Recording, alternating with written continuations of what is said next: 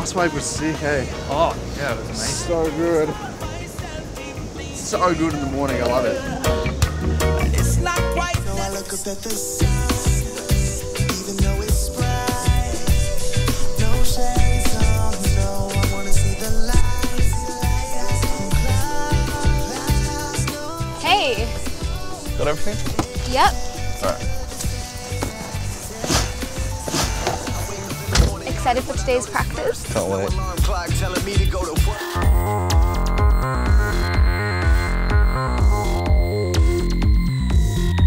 We'll go to Michael's. Wait, Michael or Mark? No, it's Michael.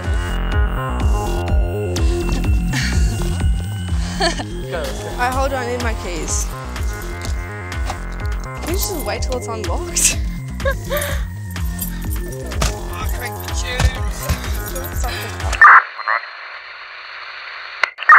Most people don't take drugs and drive. And if you don't, and you're pulled over to take a mobile drug test, or MDT as we call it, it'll just take a few minutes of your time. Taking drugs before driving puts you at greater risk of injuring or killing yourself, your mates, or other innocent people because drugs can affect your coordination and reaction time, your muscles and vision, and your ability to judge distances and speed. So the New South Wales Police Force carries out mobile drug testing operations to prevent drug driving and to keep you, your family, your mates, and everyone else safe on our roads. Is that last wave? Oh, yeah, that was pretty mad. Sick, hey? So good. I can't stop myself. In New South Wales, when we say drug driving, we're talking about one thing driving after drug use. However, if you drive after taking drugs and you're caught, you can be charged with one of two different offences. The first offence is having illegal drugs present in your system when driving. The second offence is driving under the influence of drugs, including alcohol, illegal and pharmaceutical drugs, particularly if they are taken inappropriately or not as a doctor has prescribed. If you're taken to hospital to have blood and urine tests, you can be tested for a wider range of drugs. Whether you're on your L's, your P's, or you have your full licence, drug driving laws apply to all drivers. We'll just see how it pans out. I think he's going to Michael's as well. You're always watching him like a hawk. No! Mobile drug testing detects drivers who have recently used four common illegal drugs which are known to impact driving ability ecstasy, cannabis, cocaine, and methamphetamine, which includes speed and ice. With MDT, all drivers in New South Wales can be stopped by police at any time to have their saliva tested for illegal drugs. You want to have a look at this bloke? We'll give him a test. Yeah, I think so. No, is that me? Yeah, it is. Pull over.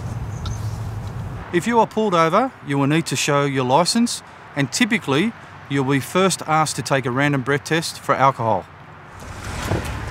You weren't oh, speeding, were you? I don't think so.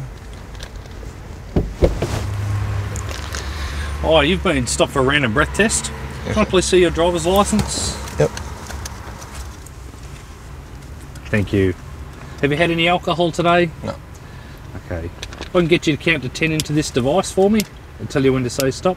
One, two. If you pass the breath test, you will then be asked to wipe an MDT stick mm, down your tongue to check if you have illegal drugs in your system. We're also doing mobile drug testing. If we could get you to um, place the wipe on your tongue and wipe it from the back to the front. Thank you. The test will take about three minutes. I'll come back and see you.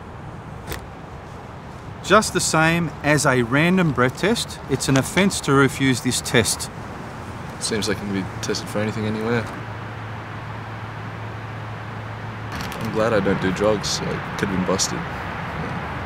The results can take a few minutes and you must wait until police say you're in the clear before you can drive away. Okay, that's all fine. Thank you very much. Thank you. Drive safely. Have a good day. Most drivers test negative and are soon on the road again.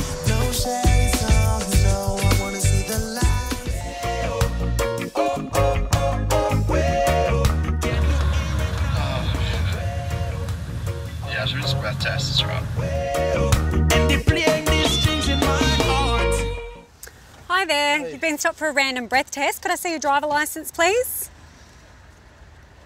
Yep. Okay, Zane, have you had any alcohol at all today? Uh, no. I'll just get you to count out aloud to 10 for me, thanks. One, two, three, four, five, six, seven, eight, nine. Okay, that's all good. We're also doing some mobile drug testing. Have you had any illegal drugs recently? Uh, nope. All right, I'm just going to give you a swipe where the two pink pads are. Wipe them from the back of your tongue to the front of your tongue for me. Thank you. Thanks, Zane. And that'll be about three minutes. Don't eat, drink, or smoke anything in the meantime. We're back to see you shortly. The MDT tests that we conduct at the roadside are screening tests only. If your MDT test is positive, you will be asked to provide a saliva sample that will be sent off to a laboratory. This laboratory test is highly accurate. To provide this sample, you will be taken to a roadside testing van or bus or to a police station. Before the sample is sent off to the laboratory, a second MDT screening test of the sample is conducted. He's gone positive to cannabis. Okay, Zane, you've tested positive to cannabis, so you're under arrest and you need to come back into the bus for a secondary drug test. I'll get you to turn the car off for me. Uh, you're right to come too, you can wait for him. We've got some seats just outside the bus. If you have a seat there, he'll be about 30 to 40 minutes. Okay, thanks. If this second MDT test is also positive, you'll be banned from driving for 24 hours. Even if your second MDT screening test is negative or inconclusive, the results will still be sent off to the lab for verification. You'll be free to go at that moment and won't be immediately banned from driving. Okay, just take hold of it like this for me.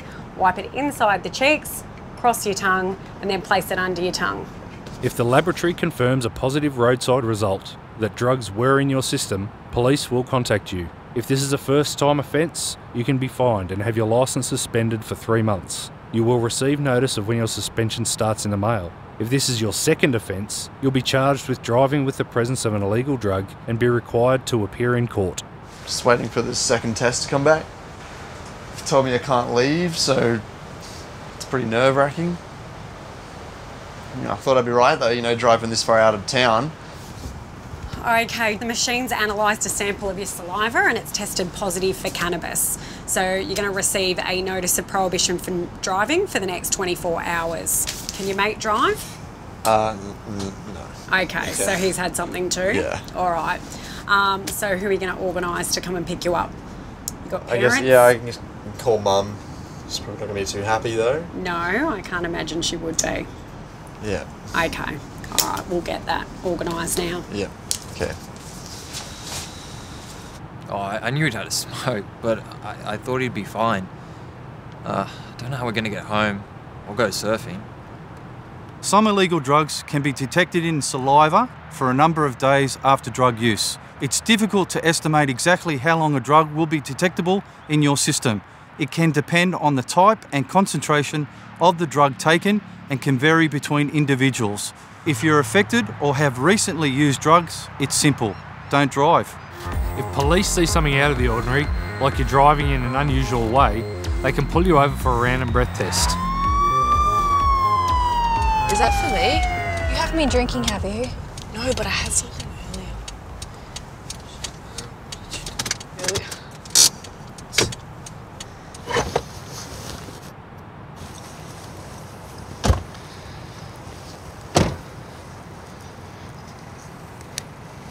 Good evening, madam. Uh, you've been stopped for a breath test. The reason why we've stopped you just back down the road there, you're, um, you've crossed over the double lines. No, I didn't. You're lucky you didn't hit the car that was coming in the opposite direction. Do you have your driver's license with you? Excellent, thank you. And have you had any alcohol tonight? No? All right. What I'll get you to do for me, if you can, just um, count to 10 into this device until I tell you to stop. One, two, three, four, five. Thank you, stop. And if this breath test is negative, and if police believe you may be under the influence of another drug, based on the way you are speaking or acting, they may ask you to complete a sobriety assessment. This can involve some simple tests that give an indication of whether you're likely to be affected by drugs. Step out of the car for me. We're right here for you. Just go around onto the footpath there. All right, where have you come from tonight? Um, just a mate's house. We're at a party. Have you had any um, any illegal drugs tonight? Have you had any drugs tonight? I'm a little bit concerned based on what, what the manner of driving that we just saw, where you crossed over the lines.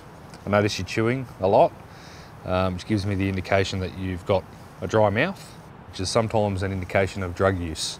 I'm concerned that you might be driving under the influence of a, an illegal drug.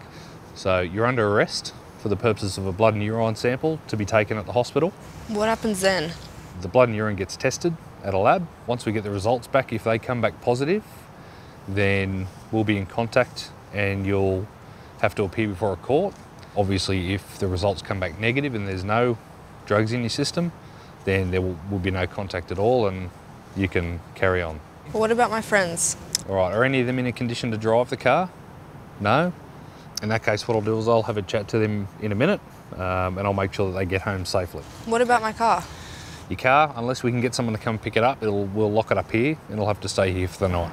If you fail this assessment, you'll be arrested and police can ban you from driving for 48 hours. Just get you to take a seat back. They will take you to a hospital to have a blood and urine sample taken for testing. These samples are taken by trained medical staff, typically a doctor or nurse, and are tested for a full range of illegal and pharmaceutical drugs. Can't call my mum this late on. We should have just crashed the night at Tom's place. I had no other way of getting home. I guess I didn't think it through properly. I should have asked her. Uh, will she lose her license? Is she gonna have a criminal record? Or go to jail? She's one of my best mates. I don't know what's gonna happen with her. Oh, she must be freaking out. I'm really worried. Pill. It was hours ago. I thought I'd be okay by the time I drove home, but I was still out of it. What was I going to do? I was the driver. As with the saliva test, if these tests come back positive, the results will be given to you by police, in person or through the mail. You will be charged with a drug driving offence and summons to court to have the matter heard before a magistrate. You can also be suspended from driving until a charge is heard in court. If you're caught drug driving, you could be fined, lose your licence, and end up with a criminal record. If you're caught with illegal drugs in your system, you could be fined and lose your licence for three months or more. If you're caught driving under the influence of illegal or prescription drugs, you could lose your licence for three years or more and could be fined over $3,000. You could also be sentenced to up to 18 months in prison. This is if it's a first offence. Higher penalties may apply for second or subsequent offences. It could get worse. The consequences of being caught drug driving can extend beyond the law. For example, if you lose your licence, you might lose your job and not be able to work. Well, it's pretty hard living out here without a license. I gotta get someone to take me to work every day. I never get down to the beach anymore. I don't get to go for a surf. I, I wouldn't have done it if I knew it was gonna have such a negative impact on my life, you know?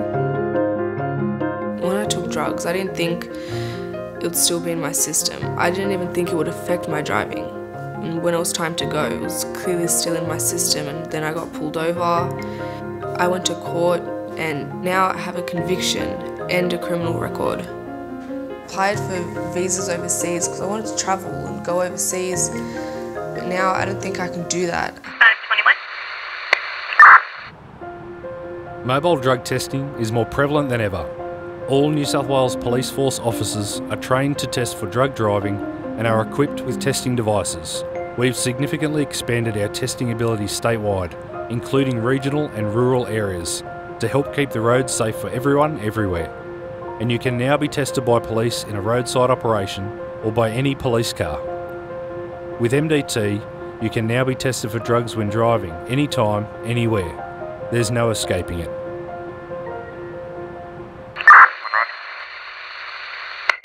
It's not always easy to tell if someone you're driving with has taken drugs.